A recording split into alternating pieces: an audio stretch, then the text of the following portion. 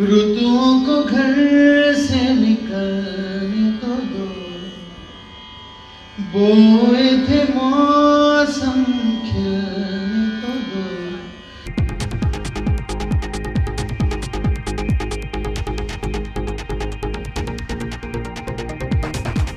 चिटगोंग बहुत ही महत्वपूर्ण फ़िल्म है। बहुत बहुत ही बहुत ही अच्छी बन पड़ी है।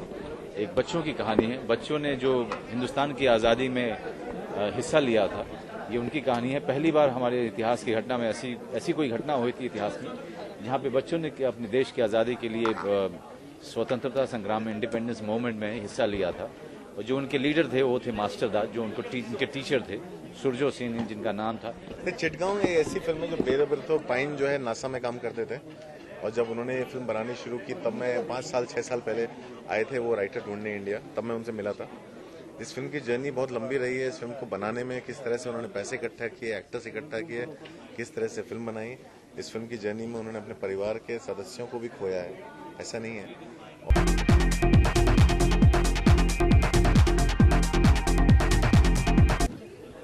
फ़िल्म का इम्पैक्ट होता है। जो देश प्रेम जो है फ़िल्म में कैसे निकल के आता है, वो बहुत बड़ा इम्पैक्ट होता है। तो उस फ़िल्म का जो इम्पैक्ट है, उसकी वजह से मैं फ़िल्म के साथ जुड़ा।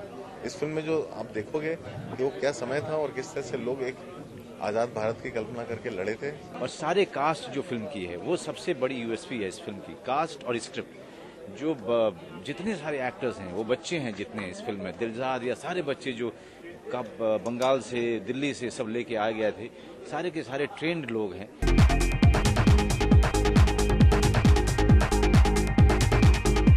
और इन लोगों ने बहुत ही बेहतरीन काम किया है। स्क्रिप्ट अपने आप में बहुत ही बहुत बहुत ही उम्दा है। जब मैंने स्क्रिप्ट पढ़ी थी तभी मैंने सोच लिया था कि ये फ़िल्म मैं फ्री में भी करूँगा और वही मैंने किया।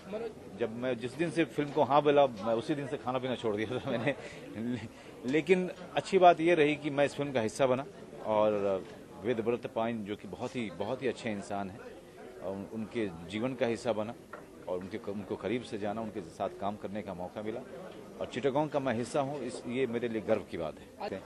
लेकिन शंकर एहसान लॉय प्रसून जोशी के आने के बाद आ- आप ये देखेंगे कि एक नए तरीके का स्कोर बनाया है, एक नए तरीके से कविताएँ लिखी गई हैं।